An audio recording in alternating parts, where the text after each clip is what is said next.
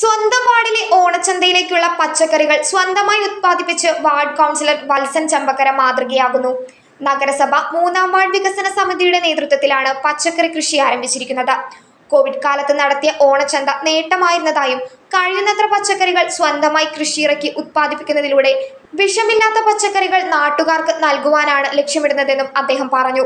ഓണത്തിന് വിഷരഹിത പച്ചക്കറി എന്ന ലക്ഷ്യവുമായി ചാലക്കുടി നഗരസഭ മൂന്നാം വാർഡ് വികസന സമിതിയുടെ നേതൃത്വത്തിൽ ഇറക്കിയ പച്ചക്കറി കൃഷിയുടെ ഉദ്ഘാടനം നഗരസഭാ ചെയർമാൻ വി ഒ പൈലപ്പൻ തൈകൾ നട്ട് നിർവഹിച്ചു.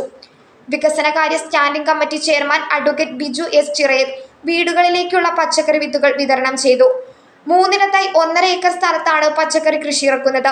അസിസ്റ്റന്റ് കൃഷി ഓഫീസർ സന്തോഷ് വാർഡ് വികസന സമിതി general convener Preetha Santhosh C D S പ്രതിനിധി ക്ലാര വിൽസൺ പ്രദീപ് കുമാർ മുല്ലശ്ശേരി എന്നിവർ സംസാരിച്ചു. Enlight News Chalakudy.